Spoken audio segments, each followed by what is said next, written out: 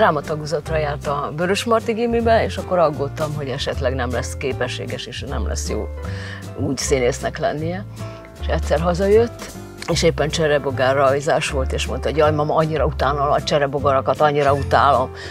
És akkor megmutatta, hogy hogy száll a cserebogár a levegőbe, és mondtam, gondoltam magamban, jó, rendben van, jó, jó színész lesz. Tehát így.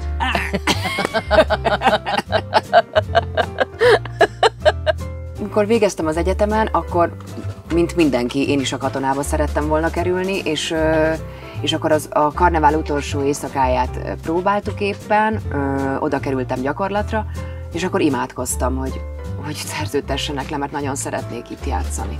Mindig is ö, oda vágytam, és a kisgyerekkoromban sokat voltam a színházban, de hát az teljesen más volt nyilván visszakerülni egy, egy végzett egyetemistaként a színházba, és akkor nagyon Egyébként én, én, én, a, én a mamával nagyon jó, jól vagyok a színházban is, szóval nekem egyáltalán nem volt ebből semmi ilyen rossz érzésem, hogy, hogy, hogy együtt fogunk játszani, sőt, én nagyon, nagyon szeretek vele játszani, és ő meg nagyon jó, jól, jól kezelte ő is, meg én is szerintem. Nyilván persze voltak nehezebb helyzetek, de, de ez idővel olyan, olyan szépen elmúlt, és olyan, olyan természetes és egyértelmű együtt játszani. Tehát nagyon szeretett a színházban lenni, és a nagy díva színésznőknek a, a rekvizitjeit ellopkodta, nagy Róka Boát, a Julitól, Básti Julitól, a Dorottyától az, az ezüst parókáját, gyöngyös parókát, meg talán csinált is neked a fodrásznő egy ilyen picike kis Igen. Dorottya parókát, és akkor kirúzsosta magát a, a fodrásztárba, és akkor lement a, lement a kelléktárba matek leckét tanulni. A kellékes tanította neki a matekot. Igen, meg a történelmet.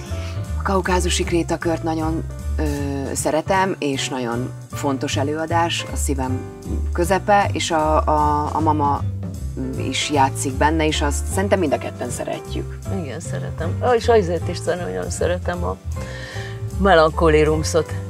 Tarnóci Jakab rendezte, és az egyik kedvenc előadásom, nagyon különleges világa van, és, és nagyon sok fesztiválon megfordultunk már vele, szóval egy, egy ilyen nemzetközileg elismert, nagyon jó előadás, és nagyon jó volt a próba folyamat is, azt nagyon szeretjük.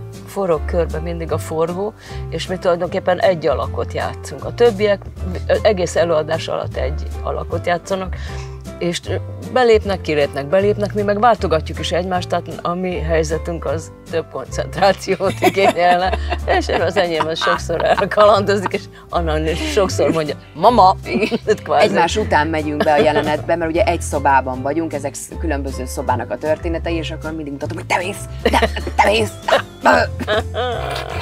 én felhívtam a mamát, és mondtam, hogy, hogy megkeresett a nőklapja, hogy legyünk együtt címlapon, és akkor először csak annyit mondtam, hogy felhívtak, hogy legyünk címlapon, jaj, ne! És akkor mondtam, hogy de a nőklapja, ja, hát jó, hát az szuper! A nőklapjában nagyon nagy megtiszteltetés címlapon lenni, úgyhogy nem is volt kérdés.